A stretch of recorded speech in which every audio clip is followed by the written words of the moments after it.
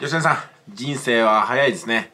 まさか私がね、こんな YouTube を軸とした情報発信で家族を支えるようになるとはね。で、しかも、大和くん生まれてもう4年なんで、よくやったなと思いますよ、本当奇跡みたいですよね。私の常識では、どっかに勤めて給料をもらうっていう暮らしじゃないと、人は生きていけないのかなと思ったんですけども、こんなね、人生の途中からポンと出てきた YouTube みたいなのに、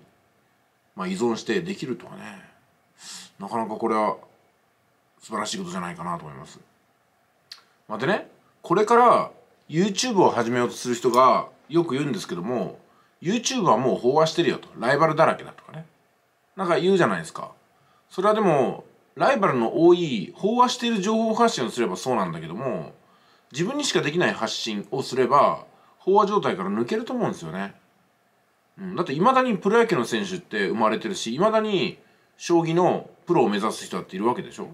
あらゆる業界で飽和飽和って言って飽和するようなやり方をするから飽和するわけであって飽和しない選ばれるようなやり方をすればねどんな道だってレッドオーシャンだって勝ち抜けると思うんですよ。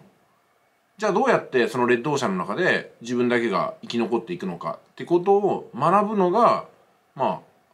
その道にいるっていうことなんでしょうね、うん、だから何をやってもダメだって言って諦めるのか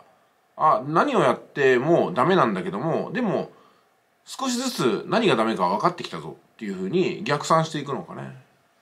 これからも私はね3年後5年後10年後本当にこの形でやっていけるのかどうか分かりませんけどもでもね今までやってきてまたこれからも新しいことに取り組むってことを考えたら常に新しい世界の扉を開いてるのかなと思いますよね。そのなんかね余力で暗号通貨買ってほっといたやつが今値上がりしてておおなんかボーナスになったなみたいな感覚ですかね、うん、なんかどっかで放った種は育つものもあれば枯れるものもあってでも今日の食いぶちは今日作るし10年後の食いぶちは今のうちに種を植えるしみたいなとこじゃないですかね、うん、刈り取りながら植え付けてるみたいなそんな感じじゃないかなと思います。じゃあいってらっしゃい。